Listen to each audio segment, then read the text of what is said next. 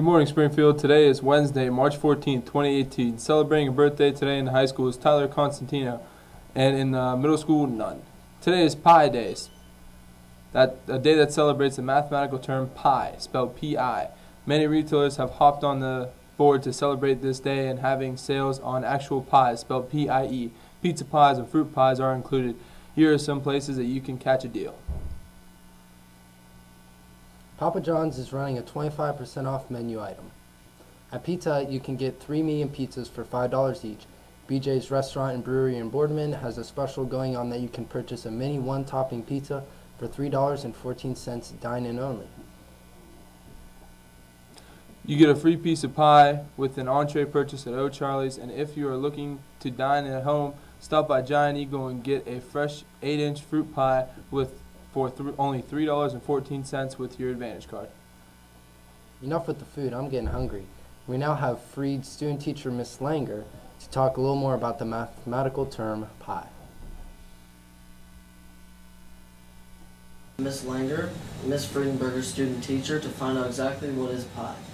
So, what is pi? Pi is approximately 3.14 and it has a lot of applications in geometry and in trigonometry. It is an irrational number, which means that it goes on forever without repeating. And why are we celebrating it today? We are celebrating Pi Day today because today is March 14th and pi is again approximately 3.14, so 314. If you could eat any pie today, which kind would it be? Pumpkin, of course. and when when you were in school, how did you guys celebrate Pi Day? Oh man, back when I was in school, we had a math club. So we would meet after school, we would eat pie, we would do pie-related activities and games one of my teachers, he had an online site that he would go to that you could look up like your birthday or your phone number or something and try and find it within the digits of pi. Thank you. You're welcome. That's it. Your Autism Awareness shirt for the month of April. We will only be accepting orders until this Friday. If you are in need of a form, there are extra copies in the office. Please make sure to bring your form and payment to your homeroom teacher by Friday. The high school track team is selling Handel's pint cards. Please see a track team member or Freed if you would like one. Attention book club members, there will be a meeting after school this Thursday. We will be discussing The Impossible Knife of Memory and going to see the movie Love Simon. There will be prom and art club meetings on Monday, March 19th. You have until the end of April to purchase a yearbook. No extras will be available. Go to our website for the yearbook link to purchase it via credit card or make checks payable to SLHS Yearbook. If you're a freshman or sophomore, give your check to Johnson. Seniors and juniors, give your check to Mullane. In national news, the famous physicist uh, Stephen Hawking passed away in the home in his home in Cambridge, England today. Hawking gained recognition for joining the Flight for Global Action and Climate Change. Hawking was 76 years old.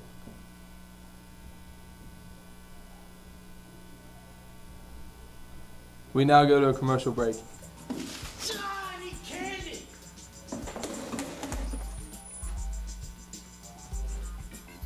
You have candy, I need candy. No, Big Tasty ran me out of business. Go ask Screwball.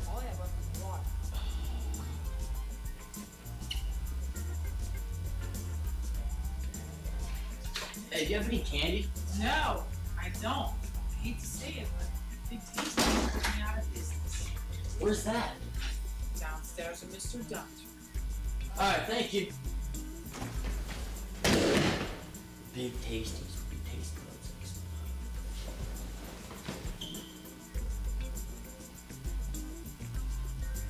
Hey, is this Big Tasties? It is, right in the office. Big Tasties? Everything's a dollar.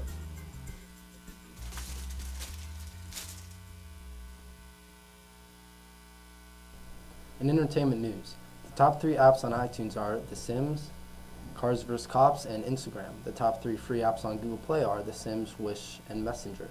More entertainment news, Justin Bieber and Selena Gomez are taking a break. Yet again, Justin Bieber and Selena Gomez's relationship is starting to turn sour. According to an anonymous source, both of them have trust issues. They get into arguments all the time, and now they aren't talking. Because of this, they have decided to not see each other for a while. Now let's see how long it takes for them to get back together. During this day in history, 1967, the U.S. performed nuclear tests in Nevada test site. For the quote of the day, "The Earth laughs in flowers," by Ralph Waldo Emerson. Did you know the Eiffel Tower was repainted every seven years? Now we have Mac with sports.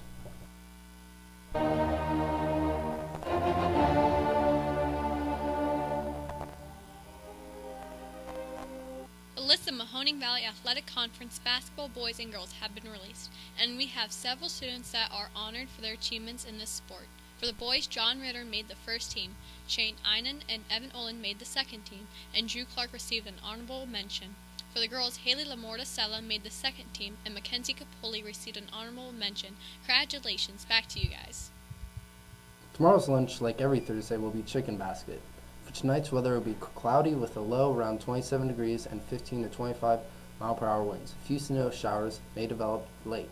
The chance of snow is 30%.